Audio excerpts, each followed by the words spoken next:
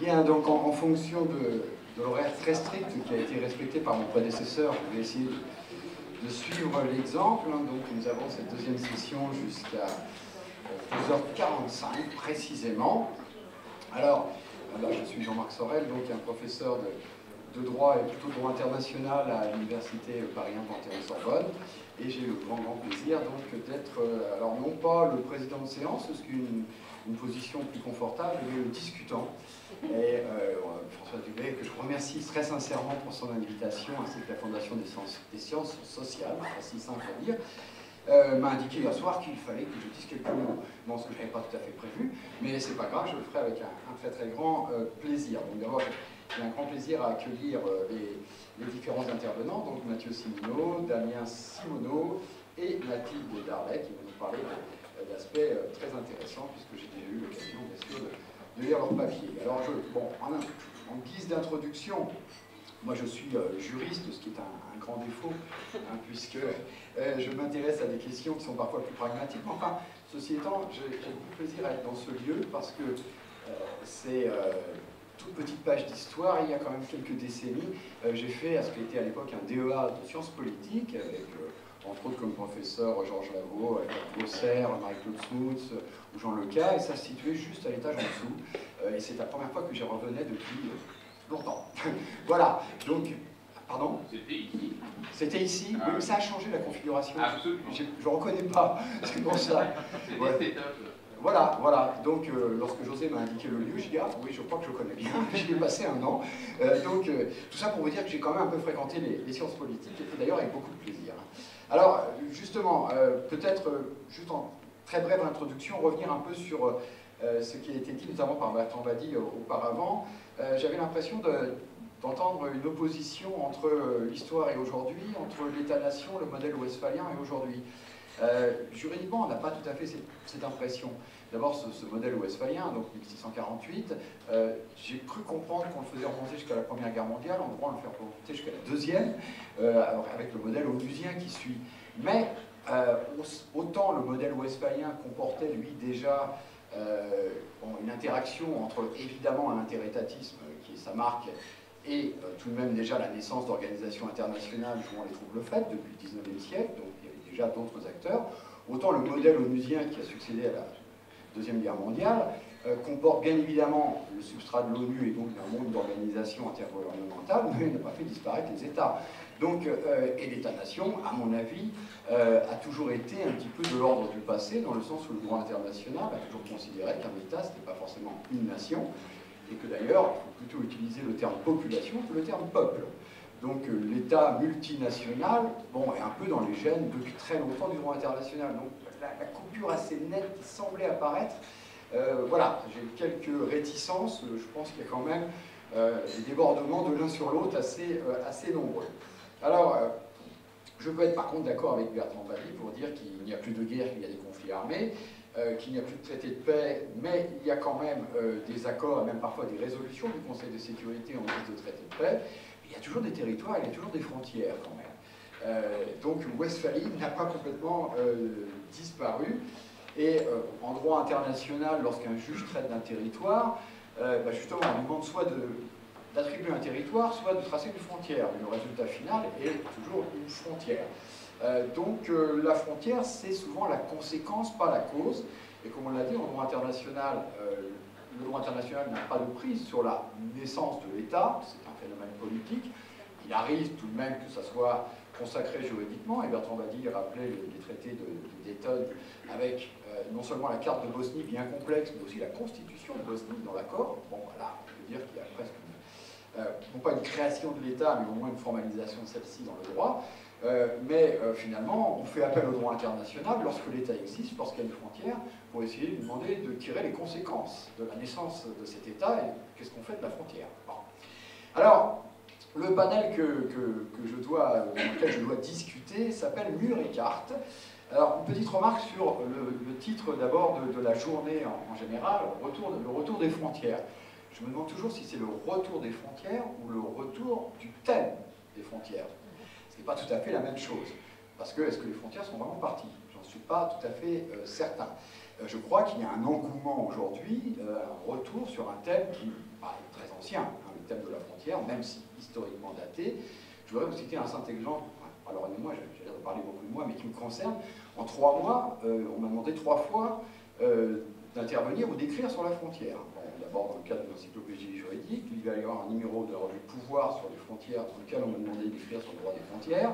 Et puis aujourd'hui, bon, donc la frontière est véritablement euh, hein, au centre des préoccupations. Et euh, j'ai bien aimé la, photo euh, de cette journée, parce que c'est très symbolique. la frontière, c'est un barbelé. Et c'est un barbelé avec une toile d'araignée quand même. Hein. Donc, il y a quelque chose voilà, qui marque immédiatement la frontière, qui est un endroit un peu dangereux, voilà, un passage d'un barbelé, et qui a un rapport avec les murs, parce qu'on sait parfaitement que les murs, notamment par exemple pour la Cisjordanie, euh, c'est pas toujours un mur au sens strict, mais c'est souvent des, barbelés ou des barrières électriques. Hein. Euh, donc le mur a, pas mal de formes différentes. Alors, donc, c'était cette première remarque, hein, peut-être sur la question de, bah, de, l'intérêt du, thème des frontières et du retour de cet intérêt, peut-être aussi à la suite de quelques écrits, notamment le, petit ouvrage de, de Régis Debray sur l'éloge de la frontière, j'avoue sincèrement d'un autre article à proprement critiqué, mais bon, euh, voilà, ça, fait partie de, un petit peu de ce retour. Et euh, le panel lui-même s'intitule Mur et carte. Alors mur et carte, je ne dirais pas que c'est fourre-tout, puisqu'il y a le reste qui sera évoqué par François Dubé, le reste c'est la euh, le dernier panel. Enfin bon, c'est un peu carte, et non pas carte, et lapin quand même, puisque mur et carte c'est un ensemble un petit peu difficile à, déterminer. Alors ça me rappelle un peu le, roman, je n'affectionne pas spécialement cet auteur, mais enfin de Michel Houellebecq, La carte et le territoire. Euh, voilà, et euh, il disait quand même une chose intéressante dans ce roman à un moment donné, c'est que la, carte est plus intéressante que le territoire. Et euh, c'est pas forcément faux.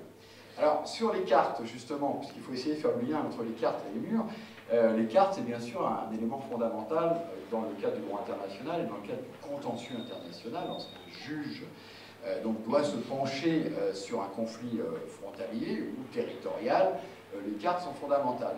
Mais les cartes ne sont jamais un élément probant. C'est un élément parmi d'autres, mais ce n'est pas un élément sur lequel le juge va se déterminer. Pour une simple raison, c'est qu'il n'y a jamais une seule carte. Il y en a des centaines, voire des milliers. J'ai souvenir d'avoir travaillé un petit peu dans des affaires auprès de la Cour internationale de justice, notamment l'affaire Tchad-Libye, où il y avait deux annexes de cartes avec plusieurs centaines de cartes, évidemment toutes contradictoires. Hein. et, euh, les, deux États produisaient des cartes exactement contradictoires. Euh, idem dans une affaire également où j'ai un petit peu traîné plus récemment entre le Cambodge et la Thaïlande, euh, sur le temple de Préaviar, où là aussi il y avait des centaines de cartes, alors venant de la tutelle coloniale française, venant du royaume du Siam, de l'époque de la Thaïlande, enfin avant la Thaïlande disons, mais euh, tout ça, bien sûr, n'est pas euh, forcément un élément. Simplement, la carte, c'est un élément important dans le sens où on peut dire que ça, active l'imaginaire, ça fait rêver.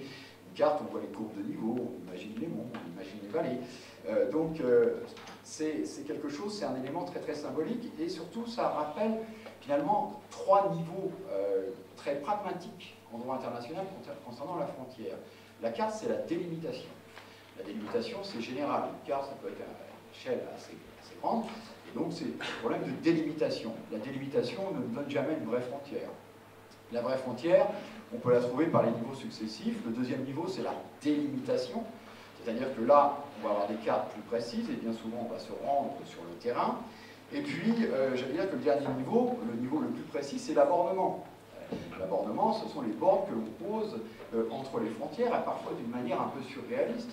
Parce que j'ai souvenir dans l'affaire Châteauby que les bornes ont été mises au milieu du désert. Voilà, simplement pour délimiter euh, la frontière, la frontière consacrée par euh, l'arrêt de la Cour internationale euh, de l'époque. Et finalement, le point ultime de l'abordement, le point d'enfermement ultime, c'est le mur. Donc on peut faire la liaison entre la carte et le mur, vous voyez. Donc en allant relativement loin, c'est le mur, bon, qui me rappelle aussi des souvenirs, puisque j'avais l'occasion d'organiser un colloque sur les murs et le droit international en 2009, qui a eu un succès bon, voilà, qui ne méritait peut-être pas, ce n'était pas un meilleur colloque, je pense, qu'un autre sur un sujet de droit international, mais le sujet a mobilisé. Et donc, euh, à ce moment-là, ça a eu pas mal de succès, et j'avais à l'époque eu le plaisir d'écouter Michel Fouché, voilà, qui était venu justement pour euh, nous parler euh, des murs. Alors, le mur, il fait fantasmer. là aussi, c'est comme la carte. quand vous avez une surface plane, vous n'avez pas forcément envie d'aller au bout de la surface plane. lorsque vous avez un mur devant vous, vous avez envie de le franchir, au moins de savoir ce qu'il y a derrière. Et euh, finalement, le, mur, c'est un paradoxe en soi, c'est fait pour séparer, mais il n'y a rien qui donne plus envie de voir ce qu'il y a derrière. Donc euh, il y a une forme là euh, qui est d'empêcher d'aller plus loin, mais qui donne envie de voir ce qu'il y a justement derrière ce mur. Et c'est évidemment quelque chose de, très très fort dans, l'imaginaire, mais aussi évidemment dans les conséquences juridiques. Donc, d'autre part, on le sait bien, et ça, ça avait été rappelé au cours de ce colloque, aucun mur n'est infranchissable ni définitif.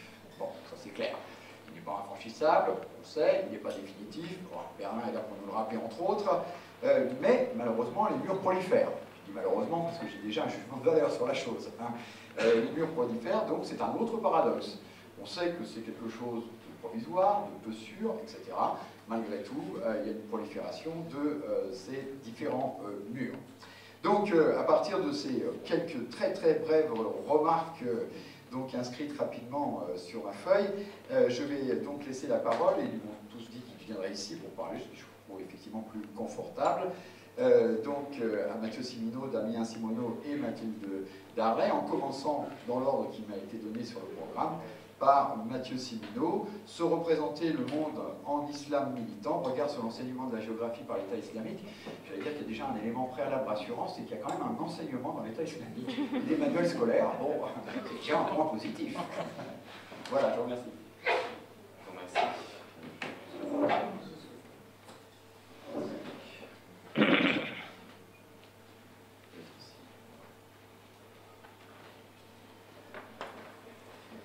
Bonjour mesdames, bonjour messieurs. Tout d'abord, euh, pour commencer, un grand merci à euh, la Fondation des sciences sociales pour, euh, m'avoir, pour nous avoir invités. ça a été un plaisir de travailler pendant une année complète. on s'est vu à, de nombreuses reprises sur les thématiques qui ont été les nôtres. Donc un, grand merci. Donc, dans cette présentation, j'ai trois éléments introductifs, trois propos avant, avant d'aborder le, vif de la question, du sujet. Le premier élément, c'est que cette recherche qui porte sur euh, les représentations spatiales ou l'idéologie territoriale de, des groupes salafistes djihadistes comme, comme l'État islamique. Euh, c'est une recherche qui est parallèle à celle, de manière générale, que je, conduis depuis plusieurs années. Euh, je m'intéresse à la diffusion, l'exportation et l'internalisation de la nation aux périphéries des États nouvellement créés, en particulier du, Liban et d'Israël. C'est par le biais de terrains, ici et là, successifs, entre 2014 et 2017, euh, qui m'a été donné de collecter un nombre assez considérable d'éléments d'archives, de, produits euh, préparés, diffusés, disséminés et encouragés par le groupe ou l'organisation euh, État islamique. Ça a ouvert un champ considérable, hein, qui est celui d'explorer les imaginaires géographiques, les imaginaires spatiaux, à travers les ouvrages scolaires qui une, sous, un sous-champ de recherche en sciences politiques, en sociologie également, euh, et, qui est véritablement très intéressant, donc j'invite à travailler sur cette question. deuxième élément, c'est l'objet lui-même, c'est-à-dire l'État islamique, l'organisation État islamique, alors j'y fais référence comme organisation État islamique, califat, califat arabe, Daoulé, euh, l'État, euh, Daesh également, l'organisation État, pardon, l'État islamique en Irak et au Levant, euh, travailler sur l'objet Daesh, c'est déjà une complexité en soi, essentiellement euh, du fait, euh, non pas forcément de l'accès aux sources, qui n'est pas plus compliqué que d'accéder à des sources d'organisations sectaires ou ultra-sectaires, mais essentiellement par la polarisation intellectuelle et d'une certaine manière l'hystérisation qui s'est créée autour de l'objet lui-même, et particulièrement pour des raisons compréhensibles dans le, domaine public suite aux attentats de 2015, la nécessité de travailler sur les process dits de radicalisation, concept assez euh, euh, vague, relativement fourre-tout et peut-être même dans un certain sens dangereux car il a ouvert un champ de recherche qui est assez mal maîtrisé. troisième élément, au-delà de, ce sens-là, au-delà de cette polarisation sur, ces éléments de radicalisation, c'est l'intérêt spatial. Il semble l'avoir périphérisé, mais en 2014, après la prise de Mossoul, consécutivement à la prise de Mossoul, l'État islamique va sécuriser euh, une, superficie relativement importante de territoire, un espace, 91 000 à peu près kilomètres carrés, appelé à la restauration du califat, c'est-à-dire d'une structure politique qui a accompagné la définition des empires islamiques depuis la mort du prophète Mahomet euh, en 632 jusqu'à l'effondrement de l'Empire ottoman et l'abolition en 1924 et à l'oblitération des frontières issues de Sykes-Picot, portant le narratif euh, d'un projet exogène européen visant à démanteler, à déstructurer euh, un, idéal unitaire euh, issu d'une construction millénaire, celle d'une unité arabe, islamique, ou peu importe quel que soit le sens qu'on voudra bien lui, lui, adjoindre. donc ce contrôle territorial a été marqué par un élément fondateur, c'est le processus de création de l'État et de création de la nation, ce que la littérature anglaise appelle state building, nation building process. Donc véritablement l'idée de, cimenter, de sédimenter un État et une nation, de donner un sens à cette construction. Alors, au-delà des éléments euh, élémentaires, ministériels, on va créer des routes, on va assurer des systèmes de connexion, de communication, euh, il y a cette idée de cimenter un appareil d'éducation. Euh, donc, dans les territoires qu'il a contrôlés ou qu'il contrôle de manière très locale, l'État islamique, Daesh, va former, va créer des écoles, former des professeurs et diffuser un cursus scolaire avec, par ailleurs, des ouvrages scolaires. Donc, la question se poser dans les 15 euh, minutes et 6 secondes qui me restent, c'est comment l'État islamique projette cette conception spatiale ou cet imaginaire spatial dans une réalité qui est la sienne. Euh, je vais voir ça trois, trois éléments euh, avec vous dans, cette construction. La première, c'est un aspect théorique. Je vais prendre deux minutes, je ne veux pas sur, euh, euh, surimposer euh, cette question-là, mais la géographie scolaire, c'est très précieux. C'est véritablement un, outil archéologique du savoir. C'est un lieu, l'école, où on va catégoriser, on va transférer, on va produire, on va reproduire des savoirs, et on va pouvoir, de manière extrêmement puissante, évaluer les sociétés contemporaines à travers leur système éducatif. on socialise individuellement, on socialise collectivement, on fermente les valeurs et, selon les, le mot de Bartal, les mots de Bartal, euh, on va créer une réalité sociale, véritablement, on va cimenter une réalité euh, sociale, on va transmettre un, ethos. Les manuels scolaires sont très simples à produire, très rapides, et très simples à diffuser. Il suffit de les transférer, il suffit de les... Donc c'est un des piliers du système social, c'est un des éléments majeurs, peut-être l'essence d'ailleurs, du, euh, système social. Et surtout, nous permettent d'explorer l'idéologie nationaliste profonde, intériorisée, internalisée, qui n'est peut-être pas forcément consciemment produite, mais qui va être le reflet d'une construction euh, parfois euh, systémique, en tout cas sur des, sur des siècles.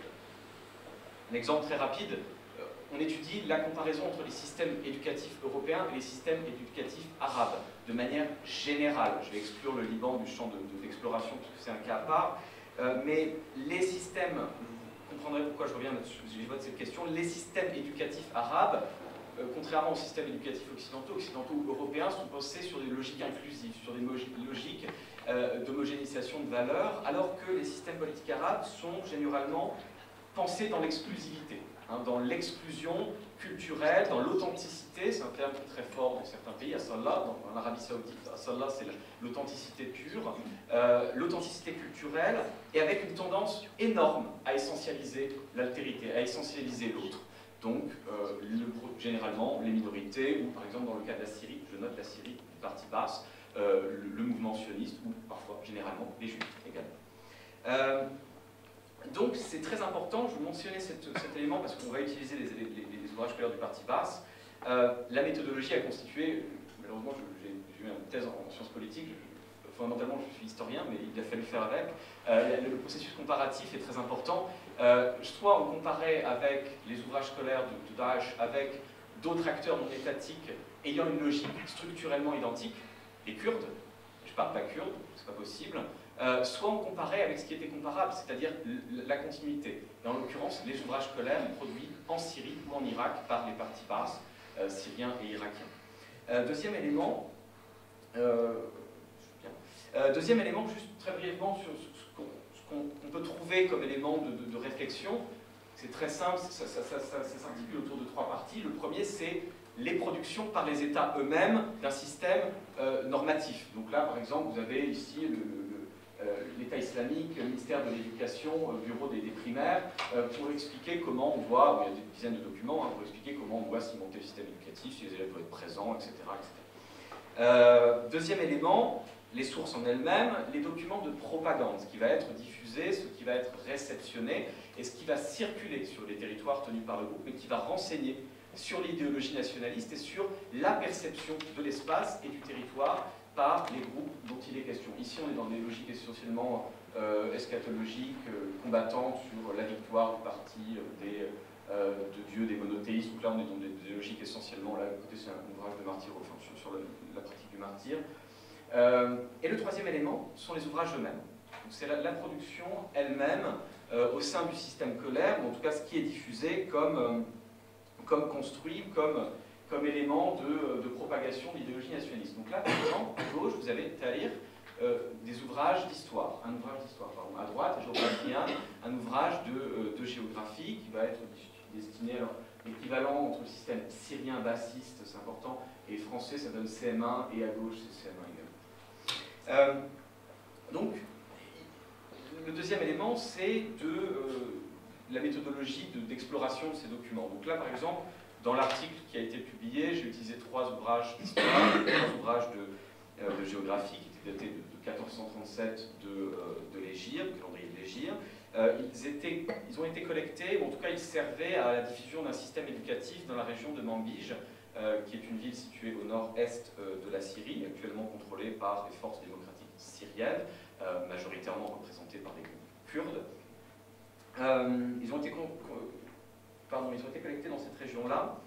Euh, et la première interrogation, c'est sur la production du sens. Qui va produire ces documents euh, Lorsqu'ils m'ont été donnés, euh, ils ont été donnés par les, les, groupes kurdes qui opéraient dans la région, et ils me disaient, mais en rigolant, ça c'est tout ce, truc, je ne vais pas dire le mot exact qu'ils ont utilisé, mais c'est les Saoudiens qui produisent ça, et nous l'importent dans le, ils c'est importé dans le, pays. c'est le narratif qui est porté par les groupes kurdes, c'est-à-dire qu'il y a une exportation, une volonté de d'oblitérer le modèle, euh, le modèle créé par, euh, nouvellement créé par les Kurdes en, exportant le djihadisme étant fondamentalement une notion exportée par les Turcs et par les Saoudiens et bien évidemment n'est pas fondamentalement endogène à la, Syrie, en tout cas dans, le discursif, euh, dans discursif kurde. en réalité, ces documents sont produits localement.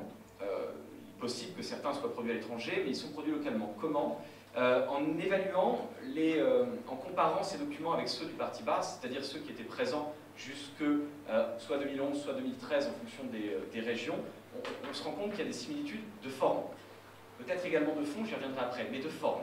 Très, très simplement, c'est-à-dire la manière dont les documents sont construits, la manière dont la, typographie choisie, c'est souvent la même. Euh, on a, alors certes, tous les bouquins scolaires se ressemblent plus ou moins, mais là, il y a des éléments, il, y a, il, y a, un prisme quand même qui laisse à dire qu'ils ont été produits suivant une logique de forme locale et reproduit pour donner un, sens nouveau ou revitaliser un sens au projet, euh, au projet donné. Donc ils sont, euh, ils sont locaux euh, et ils, ont, ils sont issus d'une production essentiellement, essentiellement locale. Alors, qu'est-ce qu'on apprend lorsqu'on les lit? Quelques idées ou en tout cas quelques pistes pour, pour bien, bien consommer la dernière partie qui m'appartient. Il y a beaucoup de choses qui seront évoquées, bien sûr, mais pour la, dans la discussion. Alors, ces ouvrages, ils renseignent sur plusieurs choses. Sur ce qu'on appelle les croyances sociétales et la manière dont des groupes sociaux vont internaliser une réalité ou vous la pensez, certes peut-être par construction, mais aussi en recopiant ou de manière consciente ou inconsciente, reproduisant euh, des schèmes qui sont peut-être souvent historiques. Euh, donc là, je vous donne un exemple très simple. Alors, premier élément avant, avant cette carte, ce qui frappe, et j'aurai pas le temps dans cette partie-là, mais j'aimerais bien y revenir dans la conversation, c'est l'utilisation euh, d'un imaginaire géographique extrêmement pointu. Euh, qui est extrêmement pointu, pourquoi? Parce qu'il va se référer à des productions euh, des premiers géographes de l'islam, des premiers géographes abbassides, avec lesquels on peut arriver à avoir des points de comparaison, mais sur l'utilisation du vocabulaire lui-même. Ils ont revitalisé des mots de vocabulaire qui avaient disparu euh, euh, de, l'utilisation acceptée ou acceptable euh, des, acteurs qui le pratiquent. Je vous donne deux exemples. par exemple, le mot de ribat. Ribat, c'est l'idée d'une fortification avancée sur une frontière. C'était très présent dans l'Empire romain, dans les limes, pas que, pour, pas que pour établir un point de connexion, mais c'était présent dans les empires islamiques également. Le mot existe toujours, il est utilisé. Par exemple, le parti libanais du, du Hezbollah euh, ordonne à ses militants de faire des temps de Morabbata, c'est-à-dire de se connecter à la frontière pour surveiller en face Israël, mais maintenant également la Syrie. Euh, par contre, par exemple, on trouve l'utilisation de, de, de, revitalisation de hadith ou de, textes écrits du, prophète, mais pas que, de textes géographiques, faisant référence à un concept particulier, celui de Thorol. Thorol, c'est la, canine du chien, l'élément avancé qui va protéger l'Empire. Euh, ils le réutilisent, ils donnent pour ordre à leurs combattants de faire euh, l'une des, euh, des, devoirs, c'est de faire ce rôle, d'aller faire cette dent avancée de protection du territoire qui est très précisément définie. Deuxième élément, c'est qu'on trouve véritablement, et c'est la carte qui est derrière, la projection spatiale d'un pouvoir d'État, mais conçue en translocalité. Là, peut-être c'est la conséquence justement des nouvelles technologies, de la, capacité à penser un monde non contigu, non, euh, non contingent. Euh, sur la carte, il y a trois éléments importants. Dar al-Islam, le territoire de l'islam. Dar al-Kufr, le territoire de l'impiété ou de la mécréance. Dar al-Harb, le territoire de la guerre. En surbrillance, donc avec une volonté de montrer là où s'applique, là où s'applique euh, la, euh, la, loi de Dieu, ou là où s'applique la loi de Dieu, c'est les territoires contrôlés par le groupe, mais qui opèrent en translocalité, qui se répondent, alors qu'ils ne sont pas euh, contigus. Le, reste, tout le reste, flanqué d'un beau drapeau des Nations Unies, c'est Dar al-Kofr, c'est l'État, ou en tout cas la, maison de l'impiété. C'est tout le reste. Ça, c'est le premier élément. Donc, il y a une conception très territorialisée du pouvoir d'État, une projection spatiale très forte du pouvoir d'État. Euh, en réalité, euh, cet espace-là, il va s'accompagner, euh, alors vous voyez, surbrillance va pointer ensuite vers Al-Aqsa, donc Jérusalem, euh, Mesjid el-Nabawi, Médine et, et, la Mecque. L'élément est accompagné d'une autre carte. Et celle-là est très intéressante aussi, puisqu'elle présente ici, elle est, elle, est, elle est, répétée systématiquement avec des explications textuelles très précises, mais la carte là ici présente les États ou les pays, le mot doual est très important en arabe, sur lequel se trouve une majorité de musulmans, et les États sur lesquels se trouve une majorité de mécréants. Je, passe sur une idée qui m'a été évoquée hier, que je n'avais absolument pas pensé, mais il est fait état ex de, de majorité, ce qui n'existe pas théoriquement, mais qui a été internalisé. Ce n'est pas le sujet, mais je, le note, on m'a fait euh, remarquer hier, je n'avais pas du tout saisi. Euh, là est, pensé sur cette, sur cette sur cette, euh, sur cette carte ici, ou en tout cas sur cet espace, cet espace cartographique, c'est un espace idéal sur lequel devrait théoriquement s'appliquer une forme de loi divine portée par l'État islamique. Alors ça, ça porte assez sérieusement en brèche l'idée d'une Ummah qui doit se développer. On a une, notion très territorialisée, très bien définie de ce qu'est ce qu'ils appellent Alem al-Islami, c'est-à-dire le monde islamique. Alors, ce qui est assez surprenant et assez intéressant, c'est que ce monde islamique, il est extrêmement bien défini. Il est précisément marqué dans une succession de productions historiques euh, et il doit être situé, je cite, entre les latitudes 11,50 degrés sud de l'équateur, c'est-à-dire au plus étendu vers le sud de la frontière tanzanienne, sur le continent africain, et 51,45 degrés nord de l'équateur, etc. etc. Euh, donc vous avez une augmentation assez affinée des contours de l'espace et une internalisation dans, euh, dans la production du groupe de ce qui semblerait constituer un élément culturel commun ou un élément d'homogénéité euh, culturelle. Dernier élément de conclusion, il me reste 3 minutes, je pense. Je suis à 17-20. Euh, dernier élément, il est intéressant de voir, et c'est ce que j'ouvre sur la discussion sur la travail sur la, la géographie médiévale énormément, il est intéressant de voir, ce que vous avez mis hier, ça c'est et il est intéressant de voir, première chose, à quel point le narratif va être prolongé par rapport aux écrits du Parti basse. Les écrits du Parti basse, pour citer euh, deux géographes euh, brillants, Parvin et Summers, euh, les, textes académiques du Parti basse vont séculariser le Dar islam c'est-à-dire le territoire rêvé porté par l'islam, ils vont le séculariser, lui donner un ton panarabe, arabisé, et en, de manière assez subtile, en dévitaliser les éléments islamiques, mais les garder quand même apparents. Euh, ce que fait l'État islamique, ou en tout cas les ouvrages pardon, scolaires de l'État islamique, ce n'est que de reséculariser un Dar l'Islam qui a été désécularisé, avec plus ou moins le même euh, territoire qui, euh, qui apparaît ici.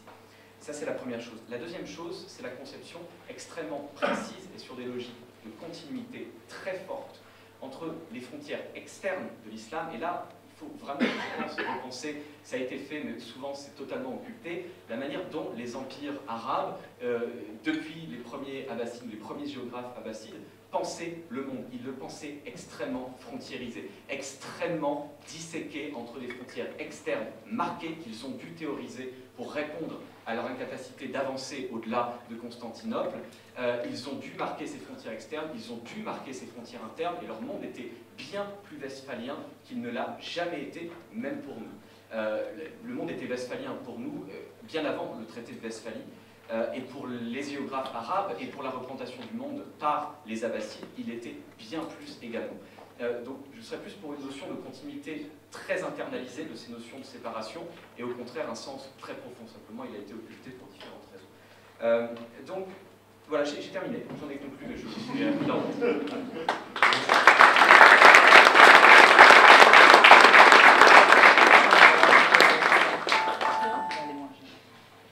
Bien, merci, merci beaucoup.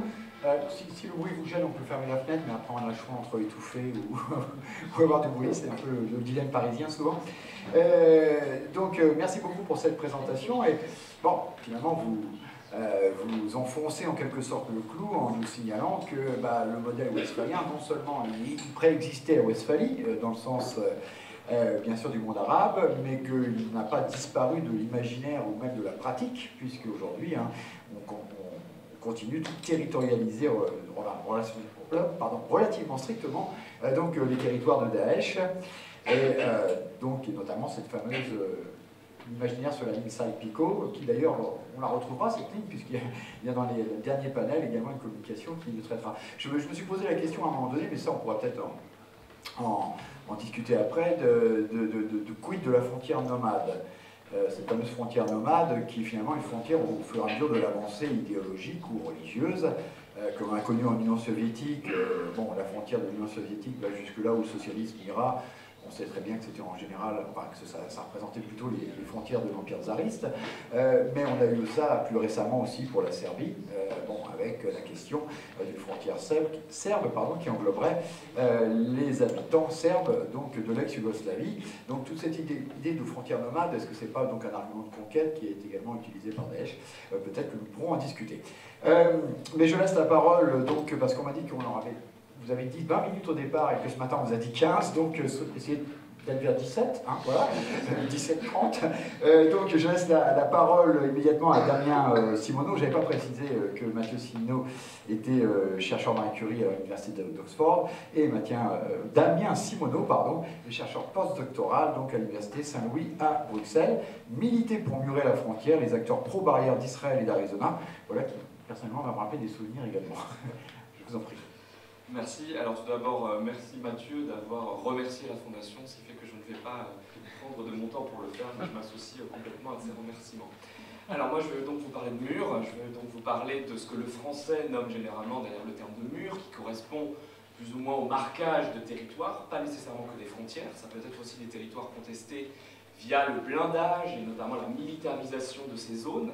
Vous allez voir que moi je vais beaucoup employer le terme de barrière, parce que c'est le terme qui est revendiqué par les acteurs que j'ai étudiés, en hébreu, en Israël et en anglais américain, pour justement exiger la militarisation de ces frontières. Alors, tout d'abord, mon appréhension des murs, et c'est ce que je fais dans mes recherches, c'est pas nécessairement de partir du haut, et c'est quelque chose qui a été beaucoup euh, écrit et beaucoup euh, développé, c'est-à-dire appréhender cette thématique des murs par le droit international, par l'impact qu'ils ont sur les relations internationales entre les entités séparées, ces relations États-Unis-Mexique par exemple, aux conséquences humanitaires et dramatiques, donc on va en parler cet après-midi, des morts qu'ils impliquent, non plus en termes de contrôle des mobilités indésirables et en termes de sécurité nationale. Moi, ce qui m'intéresse, c'est d'éclairer ces phénomènes par le bas, et donc en regardant les pratiques politiques et sociales de frontiérisation. C'est-à-dire que ces militarisations de territoire, c'est autant du contrôle et de la surveillance des autres que c'est en fait, pour reprendre les termes du géographe Antipassi, le paysage discursif et émotionnel du pouvoir. C'est-à-dire, c'est une manière du parler du nous, du parler de ceux qui, ces sociétés qui décident de s'emmurer, et notamment qui le font généralement, comme c'est le cas en Israël et aux États-Unis, même si ça se débat, dans des cadres plutôt démocratiques. Donc moi, ce qui m'intéresse, c'est d'éclairer ces politiques par des acteurs non étatiques qui se mobilisent pour cela auprès de leur gouvernement et du coup qui vont manipuler des thématiques très larges comme la sécurité, l'identité, des émotions, du nationalisme, du rapport au territoire, du coup, ce qui m'intéresse, et c'est toute la première partie de ma thèse, c'est les sens qu'ils attribuent à cette demande de barrière. Donc je m'intéresse aux gens ordinaires et je vais essayer de vous démontrer qu'en fait, quand ces acteurs parlent de sécurité frontalière, ils demandent de la sécurité frontalière, ils demandent des barrières, et bien en fait, ils se positionnent sur des enjeux identitaires, sociaux, parfois même économiques, et politiques structurants de leur société. Donc ils parlent avant tout du nous. Alors évidemment, je me suis intéressé à deux cas de politique de mur emblématiques. Euh, dans un cas, Israël et sa barrière de sécurité, ce sont les termes en hébreu qui a été construit à partir de l'été 2002 en Cisjordanie occupée, euh, qui présente la spécificité géopolitique de séparer en fait des populations israéliennes et palestiniennes, mais dans un espace qui est contrôlé par Israël des deux côtés du mur en fait.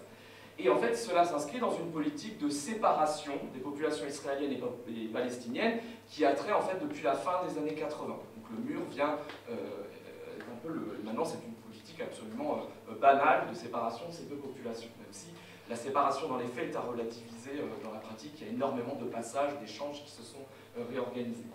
Dans l'autre cas, c'est évidemment le, ce qu'on appelle aux États-Unis le border enforcement, c'est-à-dire la militarisation de la frontière entre les États-Unis et le Mexique, qui ne date pas de Trump, bien évidemment, qui date de la fin des années 80. Il y a plusieurs phases de militarisation, et bien évidemment, Trump est en train de faire une surenchère, et euh, ce qu'il fait, en fait, rappelle énormément ce que faisait en son temps George Bush, ou même ce que faisait Bill Clinton lorsqu'il envoyait euh, ses agents de la garde frontalière euh, se déployer le long de la frontière pour empêcher ou dissuader, du moins, les migrants mexicains et centro-américains de venir aux États-Unis.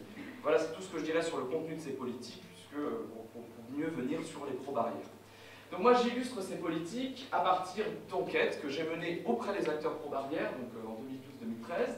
En Israël, j'ai essayé d'aller recontacter et de voir l'ensemble des acteurs mobilisés entre 2001 et 2005, donc au moment de la seconde intifada, pour demander au gouvernement qui était dirigé par Ariel Sharon l'érection d'une barrière de sécurité en Cisjordanie. En Arizona, je me suis intéressé à un ensemble d'acteurs qui se sont mobilisés entre 2010 et 2013 depuis l'État de l'Arizona pour demander au gouvernement fédéral, donc à l'administration Obama, de construire des barrières frontalières à la frontière avec le Mexique. Je me suis donc intéressé à leur mode d'action, différentes actions euh, publiques euh, formelles et informelles, puisque des fois c'était aussi du lobbying, euh, et les représentations, et notamment j'ai mené auprès d'eux des entretiens, j'ai essayé un peu de regarder, de reconstituer l'historique de leur mobilisation avec des archives presse, avec des archives internet, puisque ces acteurs-là tenaient à montrer sur Internet leur mobilisation. Donc ils avaient par exemple des sites Internet très remplis, très documentés. Et j'ai aussi observé, notamment en Arizona, certaines actions collectives et puis le territoire mondial en tant que tel. Alors, qui sont les pro-barrières brièvement en, Israël? C'est tout un ensemble d'acteurs euh, qui sont à la fois des associations, à la fois des think tanks, par exemple de militaires, comme le Conseil pour la paix et la sécurité, euh, des anciens militaires, comme le général Ouzidayan, qui va démissionner de son poste au sein de l'armée pour reprendre la contestation euh, pro-barrière. Ce sont des maires et des équivalents de présidents de conseils régionaux le long de la ligne verte, donc face au territoire palestinien. Euh, ce sont des associations de victimes du terrorisme et ce sont aussi des parlementaires élus à la Knesset. Et il y a aussi les colons, c'est le Yesha Council que j'ai mis ici, je n'insisterai pas sur leur rôle puisqu'il est un petit peu particulier, mais ce sont aussi des acteurs qui, euh, issus de la société civile qui se sont mobilisés sur cette question. En Arizona, qui sont les pro-barrières Je vous ai mis ici euh, le, site internet d'un comité qui s'appelait, au Parlement de l'Arizona, qui s'appelait le Joint Border Security Advisory Committee, qui entre 2010 et 2013 a réuni tout l'ensemble des acteurs de l'État qui voulaient parler de sécurité frontalière. Donc vous aviez aussi bien des élus républicains de cet État, que des shérifs, que des professionnels de la sécurité qui dirigeaient par exemple les administrations en charge des transports, euh, des prisons aussi, euh, de la sécurité frontalière de l'Arizona. Et vous aviez des associations, Tea Party, des vigilantes aussi, c'est des groupes de miliciens qui patrouillent la frontière, qui venaient notamment euh, montrer leurs cartes et les résultats de leur surveillance. Et donc ce groupe a donc mené des auditions tous les mois pour parler de sécurité frontalière et ils ont même lancé à l'été 2011 une initiative qui s'appelle Build the Border Fence pour lever des dons privés pour que l'État d'Arizona érige lui-même sa frontière, euh, sa barrière pardon, euh, sur la frontière avec le Mexique, ce qui est évidemment euh, illégal aux yeux du système politique américain, puisque c'est du ressort de l'État fédéral de se charger de ces histoires de sécurité frontalière. Alors, pour, avant de venir, je vais essayer de démontrer deux choses dans le temps qui me reste c'est tout d'abord essayer de parler de la diversité des perceptions, des vécus de ce qui se passe à la frontière parmi ces acteurs, et essayer de voir en fonction aussi de leur trajectoire professionnelle, et aussi par exemple de leur agenda politique, essayer de vous donner un peu un sens de comment ces différents acteurs codent ce qui pose problème à la frontière, et ensuite, dans un deuxième temps, j'essaierai de dessiner, par la comparaison, quels sont un peu les registres de sens analogues qu'on retrouve aussi bien en Israël qu'aux États-Unis, qui fait que ces acteurs demandent ou trouvent un sens à cette idée de demander une barrière. Tout d'abord, au fin fond de l'Arizona, ce qui est exprimé par l'ensemble de ces acteurs, c'est un sentiment d'angoisse. C'est un sentiment qu'il y a un spillover, c'est-à-dire que la violence côté mexicaine est en train d'arriver côté euh, américain. Donc du coup, ces acteurs se basent beaucoup, notamment sur l'expérience d'une population particulière qui vit à la frontière, qui est celle des ranchers, des éleveurs de bétail.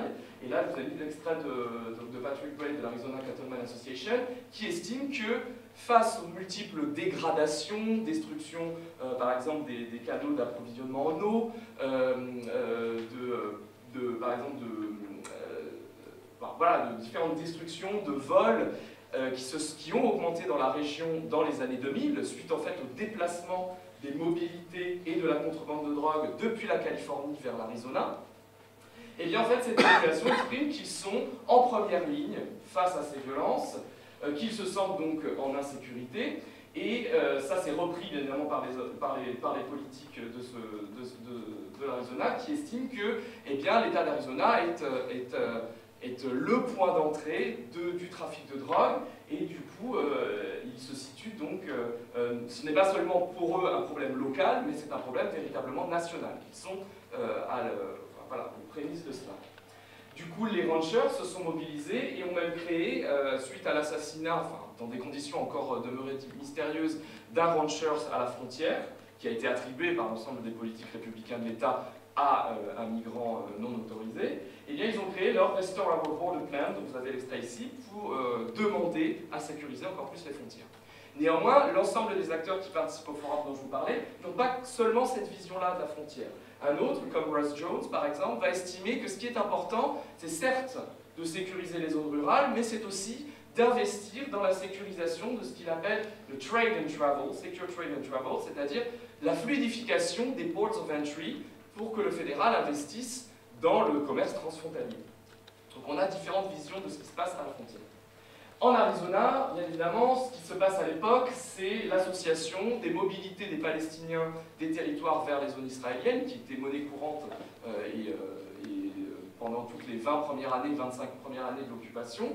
Eh bien, c'est l'association de ces mobilités à la figure classique du militarisme israélien qui est l'infiltré, c'est-à-dire l'entrée de Palestiniens pour commettre des actes euh, euh, violents.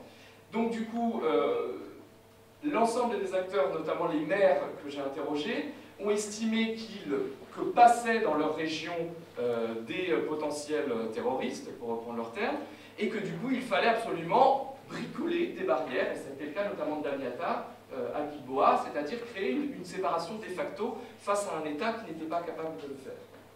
Néanmoins, d'autres maires ont insisté sur le fait que euh, la barrière est aussi un moyen de gérer les problèmes de criminalité, puisqu'en fait, l'absence de séparation, euh, notamment politique, euh, fait que les Palestiniens pouvaient venir voler des voitures dans la zone d'habitation israélienne, les dépecer et les revendre ensuite en Israël. Donc il y a un enjeu aussi de criminalité. Et par exemple, Shahar Ben-Ami, le maire de Shoam, estime que lui, ce n'était pas du tout les attentats qui, faisaient peur à sa population à la fin des années 90, début des années 2000, c'était ce problème-là.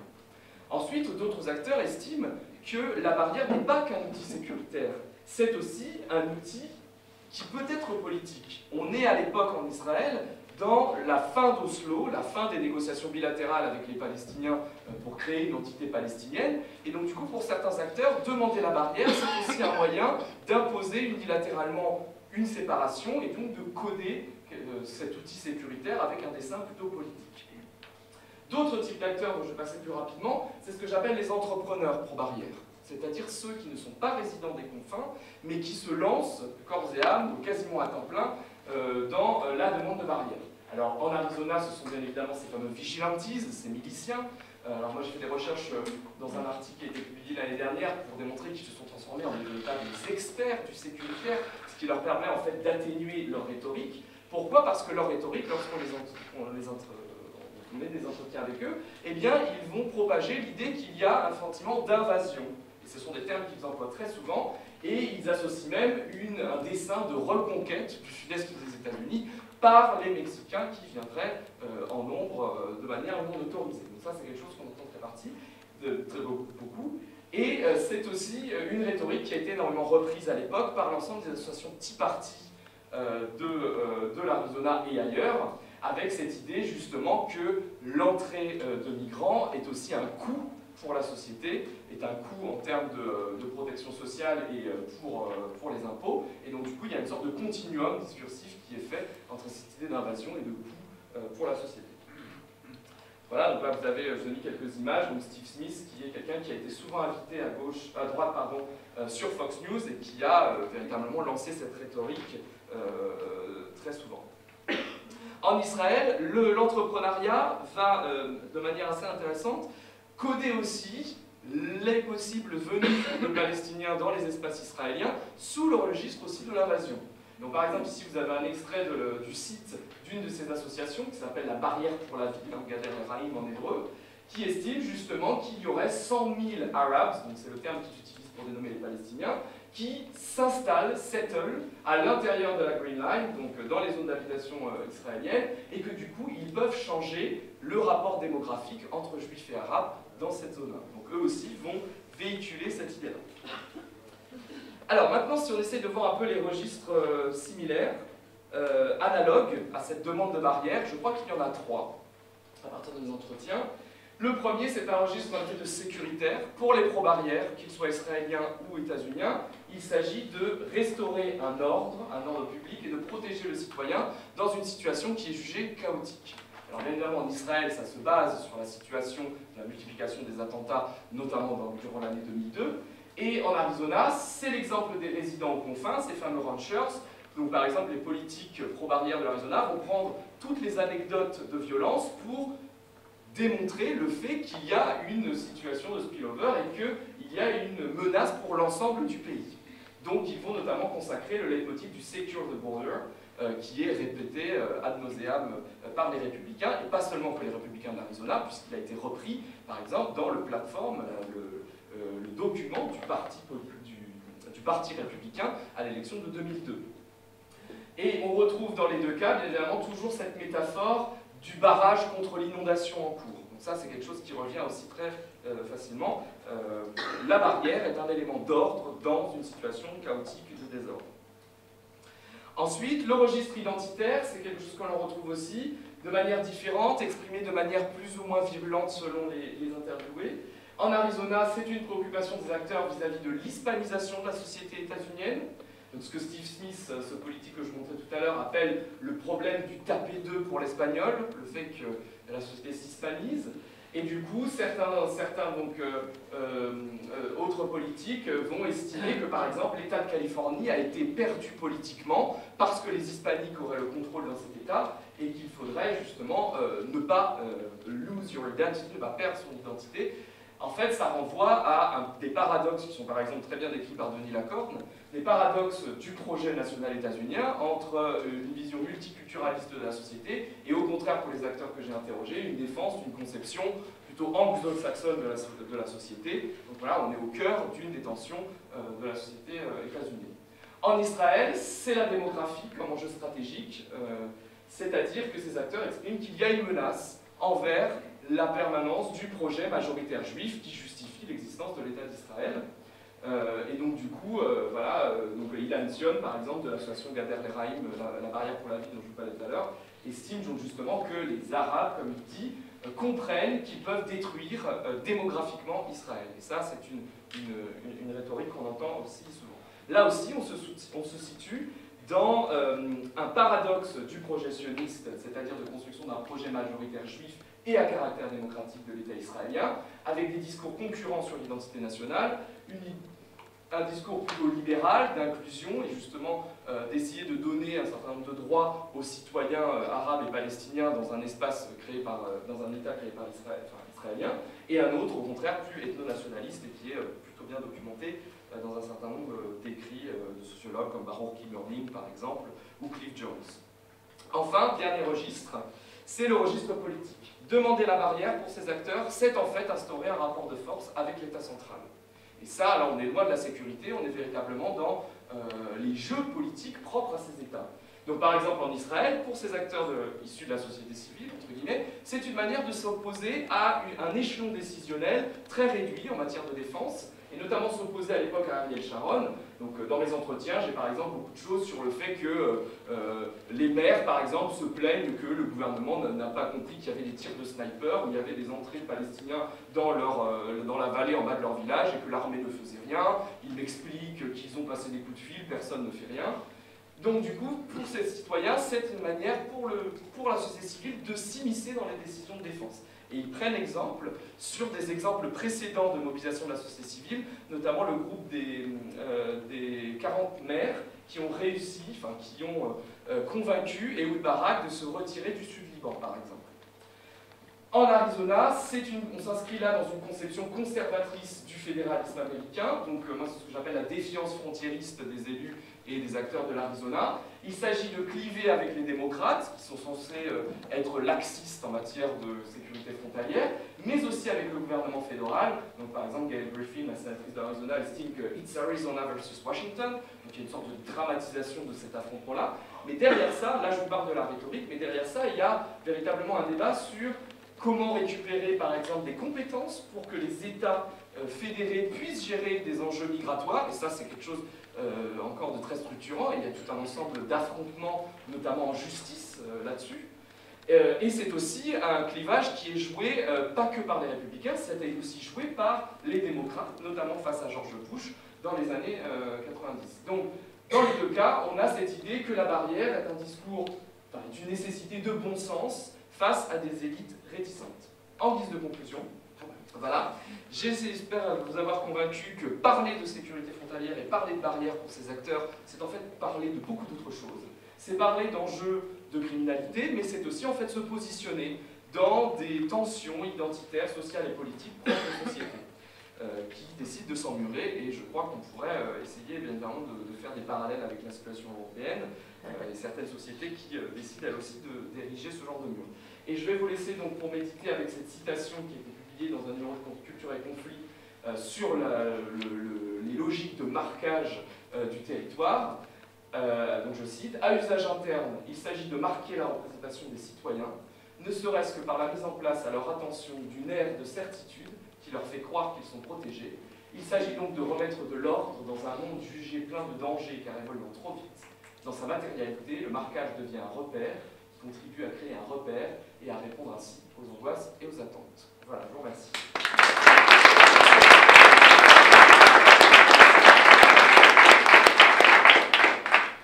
Merci beaucoup pour cet exposé euh, passionnant, emporté, euh, mais qui euh, justement nous montre les murs d'une autre manière. Il nous montre les murs un petit peu par ceux qui les vivent de près, pour le meilleur ou pour le pire, et qui donne un point de vue et justement qui multiplie un petit peu les, analyses, voilà, qui ne sont pas seulement les analyses faites par ou des spécialistes des relations internationales sur, sur ces murs. Et je crois qu'effectivement, vous avez insisté sur un point important sur lequel on pourra peut-être revenir.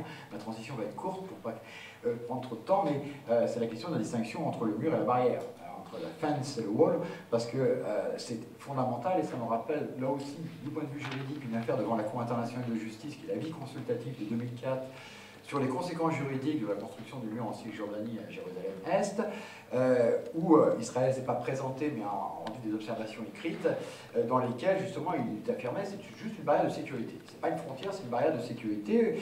Et la Cour, même si c'est un acte consultatif, mais avec un peu effet de cliquet, leur répond que bah, si c'est une barrière de sécurité, ça ne pourra pas servir de base à une négociation frontalière.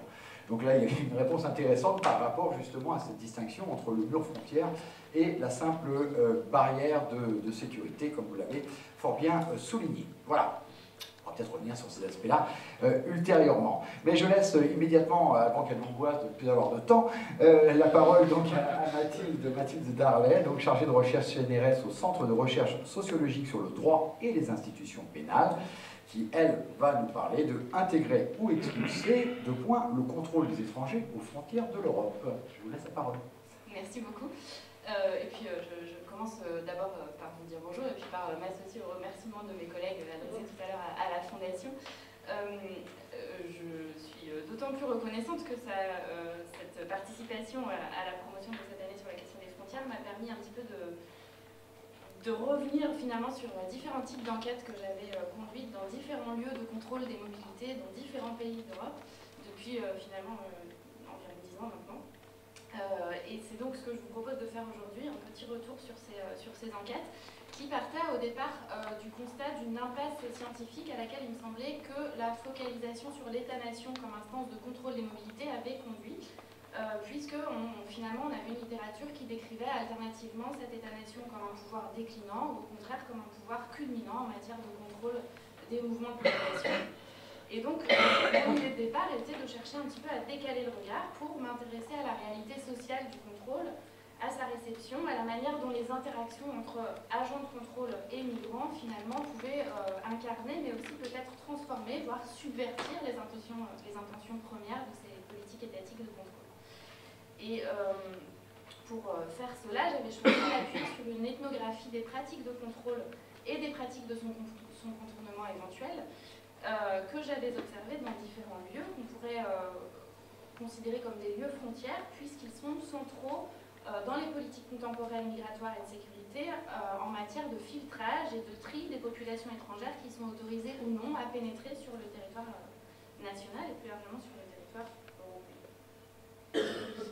donc ces enquêtes, elles ont été conduites en, Autriche et en République tchèque d'abord dans le cadre de ma thèse, dans différents lieux, donc à la fois dans des centres de réception euh, fermés, des centres d'accueil fermés pour demandeurs d'asile situés dans la zone de transit euh, aéroportuaire euh, d'aéroports internationaux, des centres de rétention pour migrants en instance d'éloignement du territoire, et puis des postes frontières situés sur ce qui était alors la, une des frontières de l'espace Schengen, donc la frontière entre la République tchèque et l'Autriche.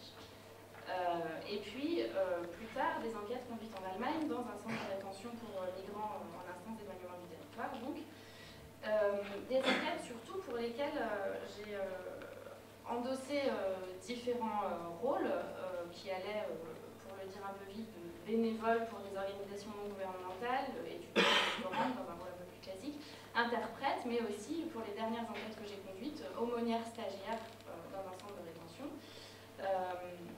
Et au-delà du, du, rôle de composition que ça m'a demandé d'adopter, c'était notamment intéressant parce que euh, ces différentes casquettes me permettaient aussi de faire varier les points de vue en fonction des acteurs que j'accompagnais sur ces lieux frontières et euh, de la marge d'autonomie dont je pouvais disposer pour réaliser les enquêtes, euh, les observations et les entretiens. alors aujourd'hui, je parlerai essentiellement des acteurs que j'ai pu observer le plus longuement dans mes enquêtes, à savoir les policiers aux frontières, les fonctionnaires de l'asile, donc les officiers de protection des ministères de l'Intérieur qui sont chargés de statuer sur les demandes d'asile déposées par des migrants dans mon cas, euh, et puis des acteurs non étatiques intervenant en rétention. Et aujourd'hui, je me concentrerai sur ces aumôniers que j'ai suivis euh, pendant euh, environ deux ans dans un centre de rétention allemand. et qui m'intéresse notamment parce qu'il revendique une posture, mais je reviendrai, une posture militante donc, contre cette autorité souveraine d'exclure les étrangers du territoire Et l'idée de, ma présentation aujourd'hui, c'est d'étudier la manière dont ces différents professionnels, donc avec des positions professionnels très contrastés sur la question migratoire, sont finalement impliqués dans la fabrique de la frontière et mettent en œuvre ou participent à la mise en œuvre de ce que Foucault appellera des pratiques divisantes entre les étrangers qui sont autorisés à passer la frontière et ceux qui, au contraire, doivent rester en dehors. Euh, alors, quand on pense frontière, on pense en général d'abord post-frontière, ou point de contrôle sur une ligne Euh, on en a une illustration euh, ici, puisque effectivement, les postes frontières sont sans doute la manifestation la plus évidente de l'implantation dans l'espace d'un élément de discontinuité euh, qui serait explicitement affecté au contrôle des individus qui souhaitent entrer sur le territoire national et donc on a souvent présenté effectivement dans les travaux de recherche qui ont pu se développer sur le thème des frontières depuis le début des années 1990, euh, ces frontières et ces postes comme un lieu privilégié d'investigation, d'interprétation des aspects symboliques de l'État, où s'exercerait cette autorité souveraine d'exclure dont je parlais tout à l'heure. Et puis on a vu avec la récente crise des réfugiés, le rétablissement des contrôles aux frontières euh, au sein de l'espace Schengen, que cette dimension au moins symbolique, sinon effective, qui était prêtée aux frontières comme rempart de la souveraineté étatique, se maintenait euh, dans le temps. Pourtant, on a une certaine centralité de ces frontières dans les représentations, les pratiques de mais assez peu d'études empiriques sur euh, ce contrôle aux frontières et aux postes frontières et les manières dont il, est, dont, il se fabrique au, quotidien. et donc, c'est un peu ce qui m'avait poussé à réaliser des observations ethnographiques à cette frontière tchéco-autrichienne qui était donc, comme je vous le disais, à l'époque encore une frontière Schengen et qui est devenue fin 2007, avec l'entrée de la République tchèque dans Schengen, une frontière interne à l'espace Schengen, qui a sensiblement changé sa physionomie, comme vous voyez ici. Euh, alors peut-être pour contextualiser un petit peu cette, frontière, c'est une frontière euh, particulière puisque euh, dès 1990, on a des États, d'un côté donc des États post-communistes qui cherchent à démilitariser le contrôle aux frontières, et puis on a en face l'Autriche, sur laquelle j'ai travaillé, qui précisément à cette période décide d'impliquer l'armée dans le contrôle de ses frontières.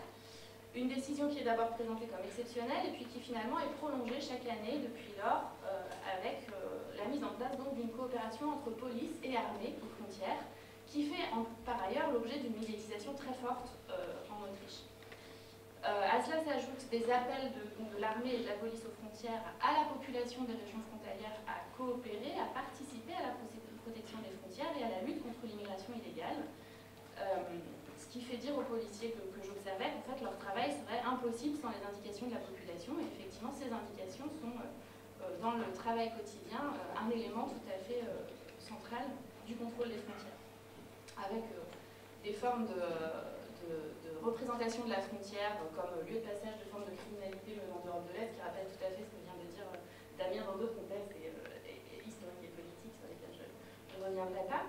Et donc de l'autre côté, en République tchèque, euh, on, a, euh, on a eu, comme, dans un certain nombre de pays euh, communistes, des formes d'héroïsation du garde-frontière sous régime communiste, mais au contraire, on tend à, à la sortie du communisme à rendre un peu silencieux ce contrôle frontalier.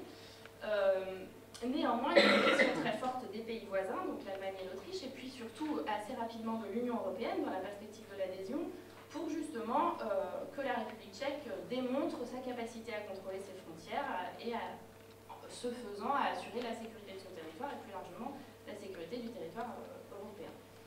Euh, par ailleurs, c'est un contexte aussi d'augmentation de la pression migratoire sur cette frontière Schengen après l'entrée de la République tchèque dans l'Union européenne en 2004. Donc un contexte dans lequel euh, cette frontière se trouve très visibilisée, aussi bien euh, du côté autrichien, euh, en raison d'une de, spectacle de la frontière qui est en cours alors depuis presque 20 ans, que du côté tchèque, en raison de pression européenne et, mise par les pays voisins à démontrer cette capacité à contrôler les frontières.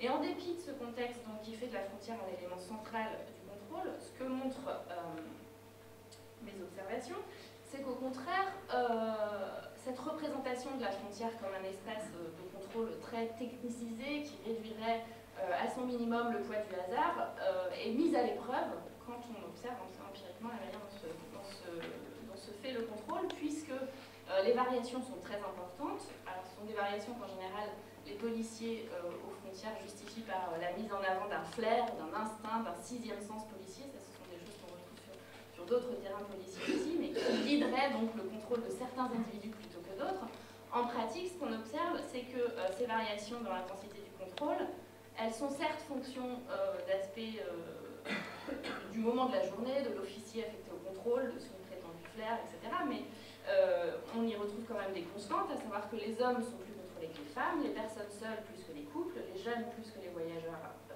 plus âgés, et que euh, surtout les voyageurs présentant des signes extérieurs d'altérité sont plus contrôlés, notamment en lien avec la couleur de peau ou avec la présentation de certains documents euh, euh soupçonnés de, falsification ou de, de vol.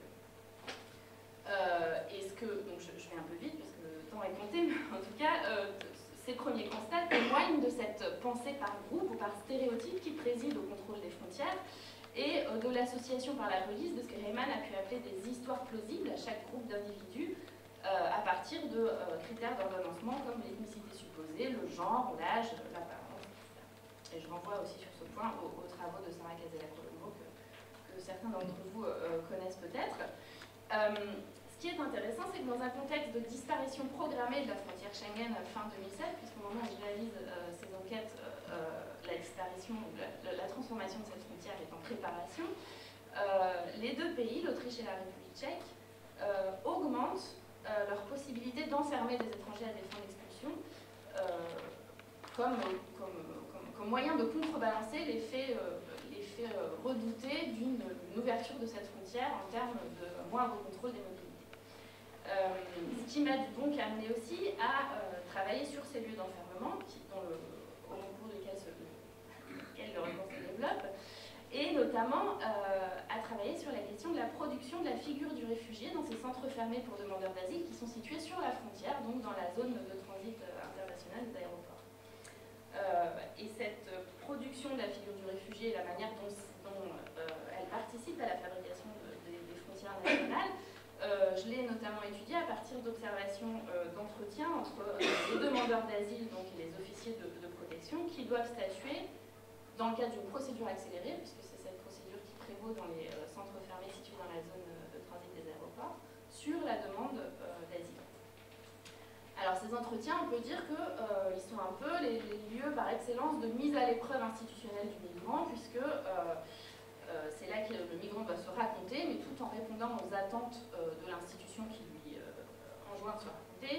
Et, parmi ces attentes, il y a un certain nombre de travaux qui, qui le montrent très bien, mais euh, on peut citer notamment le règne du détail, mais ce détail doit être bien dosé, c'est-à-dire qu'il faut ni trop ni trop peu de détails. Je, passe un peu vite, mais euh, on peut revenir dans la discussion euh, si vous voulez. Et puis, la capacité aussi du demandeur à articuler son histoire personnelle à ce que Estelle Daïma-Mabillot, par exemple, a appelé le grand récit collectif, c'est-à-dire ce récit que les agents de l'État s'attachent à reconstituer à partir de l'histoire sociale, religieuse, politique du pays d'origine. Mais surtout, pour être cru, le récit du d'asile doit entrer en résonance avec cette catégorie de réfugiés qui finalement a été pensée comme pure, comme authentique et comme très liée à une qualité de victime, de vraie victime qui aurait souffert moralement et physiquement et qui garderait les traces de cette souffrance. Euh, et ce que euh, mes observations montrent, c'est qu'en fait, l'appréciation de cette souffrance et cet engagement compassionnel et juridique, c'est quelque chose sur lequel je reviendrai plus tard, qui en résulte, euh, cette appréciation donc est très liée à l'expérience personnelle, voire affective de l'officier de, protection. Euh, on, le voit un petit peu à partir de l'extrait euh, projeté en ce moment, donc avec une représentante de l'Office autrichien pour l'asile qui, qui dit au demandeur d'asile qu'elle interroge Mais comment ça, vous savez pas combien gagnait votre père? Mais c'est pas possible, moi j'ai toujours su combien gagnait mon père.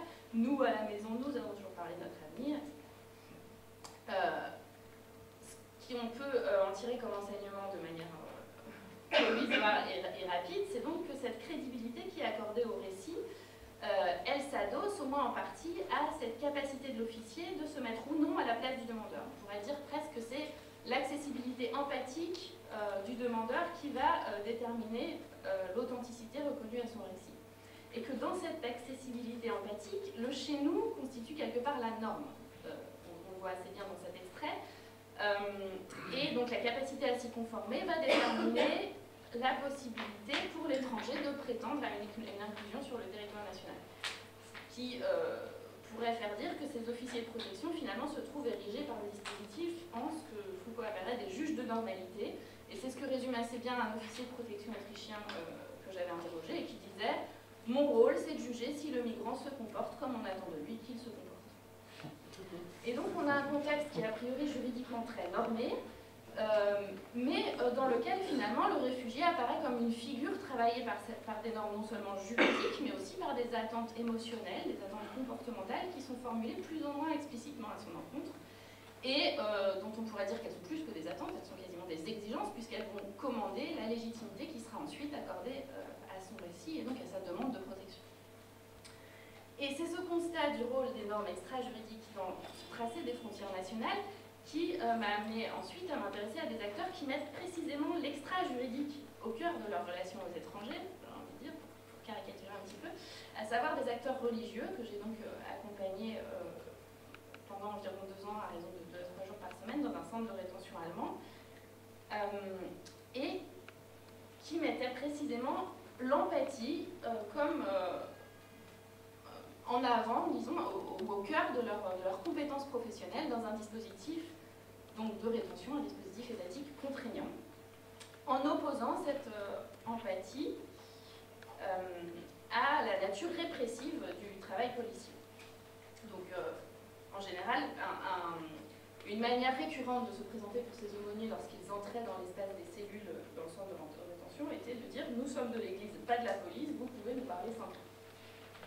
Et euh, c'est cette posture euh, universaliste d'un côté, et puis très critique, très militante, et critique de la contrainte policière de l'autre côté, qui les avait progressivement amenés à inclure l'assistance juridique dans leur mandat professionnel, puisqu'il n'y avait pas d'autres euh, acteurs euh, non étatiques euh, pouvant assumer cet accompagnement juridique des étrangers et la défense de leurs droits. Donc ils avaient investi, ils investissent les normes juridiques et les voies de recours pour chercher dans les récits des étrangers en situation d'éloignement du territoire et enfermés des, passes juridiques, des éléments biographiques qu'on pourrait convertir en arguments juridiques face à l'administration. Ils ont donc un rôle de médiateur, mais aussi un rôle de filtre entre euh, les étrangers enfermés et les dispositifs juridiques extérieurs. Ce que résume euh, d'entretien, nous avons un énorme pouvoir, c'est nous qui décidons si ces gens vont recevoir de l'aide ou pas.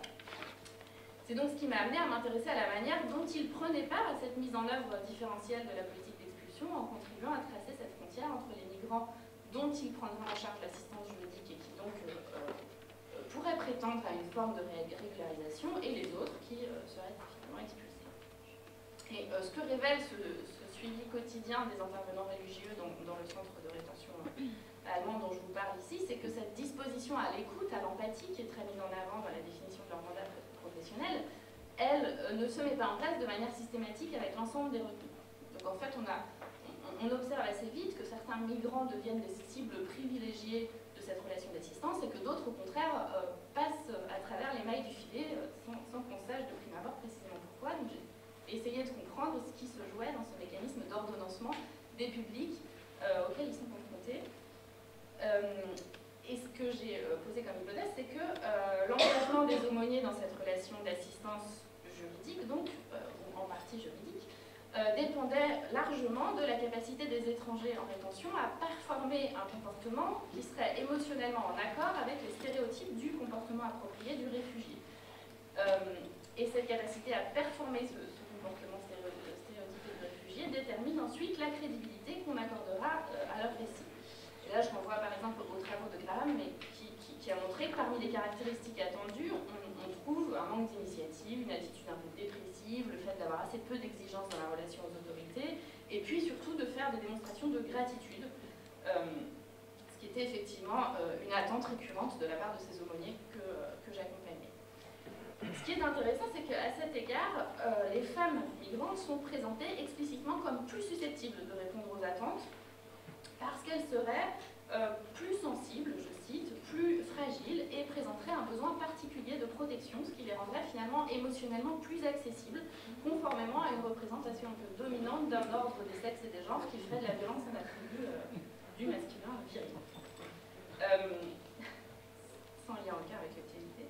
Euh, et corrélé à cette représentation, on trouve un lien directement établi entre parcours migratoire féminin et exploitation, ce qui, voit, ce qui fait émerger dans les pratiques quotidiennes d'assistance religieuse en rétention deux figures idéales typiques de la vulnérabilité. D'une part, la femme victime de violences conjugales et d'autre part, la femme victime de la traite à des fins d'exploitation sexuelle.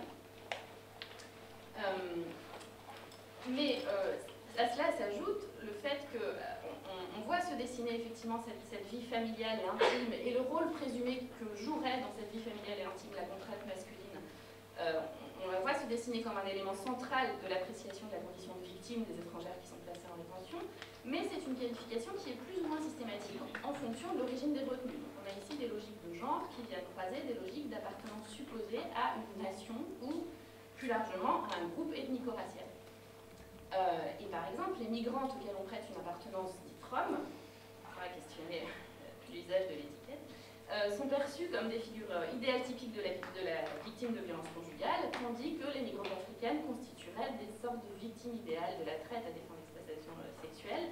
Et ces deux statuts justifieraient dès lors leur inclusion dans un maillage plus serré de relations d'assistance pour leur permettre d'obtenir une libération et un titre de séjour. Et on, pour, simplement, à titre d'exemple, donner de la chair à cette, hypothèse, ce qui est intéressant à, observer, c'est que par exemple les prostituées transsexuelles en rétention sont exclues de cette perception comme victime. On pourrait d'abord se dire que euh, ce lien directement établi entre prostitution migrante, contrainte, statut victime est aussi en partie lié par exemple, euh, et, pas que par exemple, à la socialisation religieuse des acteurs auxquels on a affaire, qui de fait ont une conception abolitionniste. Euh, néanmoins, ce qu'on observe, c'est que tous les, migrants ne sont pas égaux face à cette inclusion dans, euh, le groupe des victimes et, euh, et, partant dans un dispositif d'assistance juridique. ce qui m'amène à dire que finalement, ces aumôniers mettent en œuvre des formes de catégorisation de leur public qui s'adossent aussi à des raisonnements par groupe, par stéréotypes, et qui confèrent une place particulière aux assignations euh, genrées et racialisées dans euh, la mise en ordre des publics entre ceux qui mériteraient une assistance euh, et ceux qui n'en mériteraient pas.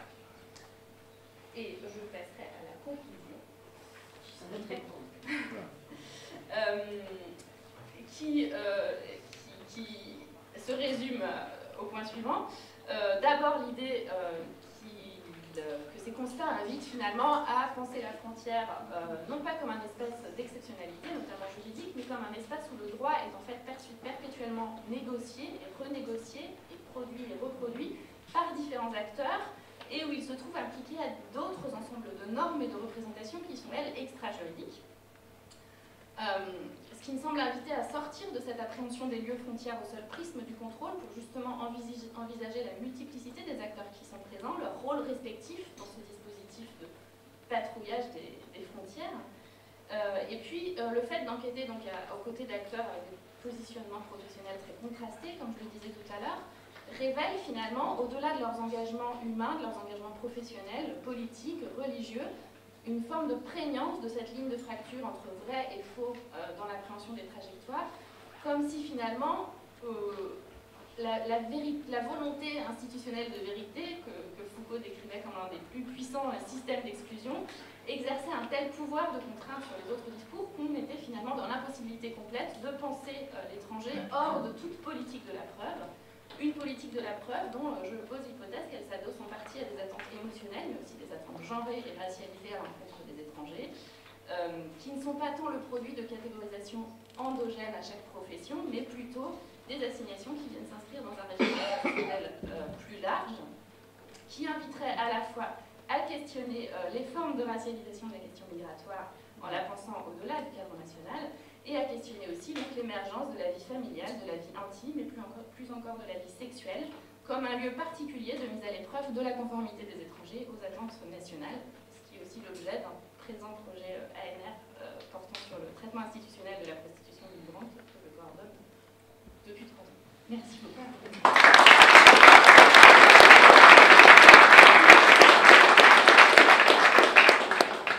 Merci cher Mathilde pour cette présentation vraiment très très intéressante, ce qui a été le cas d'ailleurs, je, suis un enfant gâté puisque j'ai eu trois présentations vraiment très très intéressantes. Euh, le droit perpétuellement renégocié, oui, euh, heureusement que le droit est perpétuellement renégocié, pas dans le sens où vous, le, le du droit euh, pour la frontière, mais en général. J'ai l'impression aussi, mais vous le dites pratiquement, que votre poste d'aumônière stagiaire, bah, par définition, vous a amené à, disons, à des, dialogues, des confessions plus intimes, plus, plus personnelles par rapport à, votre rôle. Euh, je vais faire un aveu, j'ignorais absolument ce que gagnait mon père. Bon, voilà. et, voilà, voilà, je suis désolé.